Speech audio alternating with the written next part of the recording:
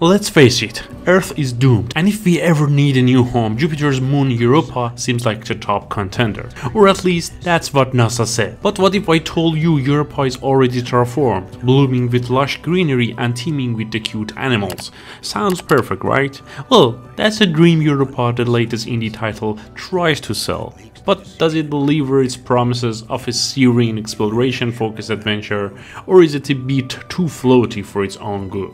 My name is Ebolan, welcome to another video, let's dive in and find out. Europa greets you with a world that's nothing short of enchanting. It's like step into a Studio Ghibli film, with vibrant meadows, majestic ruins, and skies that seems to stretch into infinity. Every frame looks like a painting you'd want as your desktop wallpaper. You play as Z, an android child exploring a terraformed Europa in search of answers about humanity's mysterious disappearance. The story is pieced together through a journals left behind by your father, an engineer who dreamed of creating a paradise here. It's a tale that starts predictably, terraforming gone wrong, a conflict with robotic gardeners, but soon takes darker, unexpected turns. The lore, while not groundbreaking, manages to pull at your heartstrings and adds depth to the Syrian visuals. At its core, Europa is a 3D platformer with a focus on movement. You'll be running, jumping, gliding, and occasionally solving puzzles.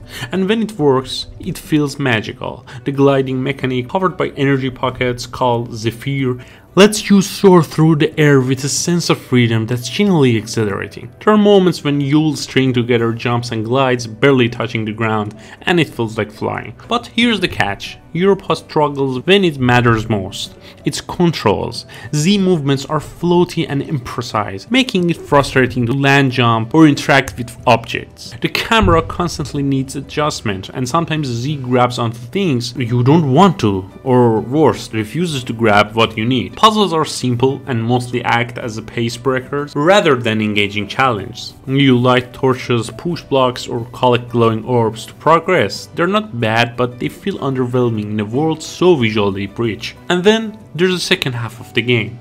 Out of nowhere, enemies are starting bombarding you with energy blasts. Z can't die, but getting hit repeatedly slows you down and disrupts the otherwise cozy vibe. It feels out of place, like the game suddenly remembered it needed action. Let's not forget what Europa does best its art and atmosphere.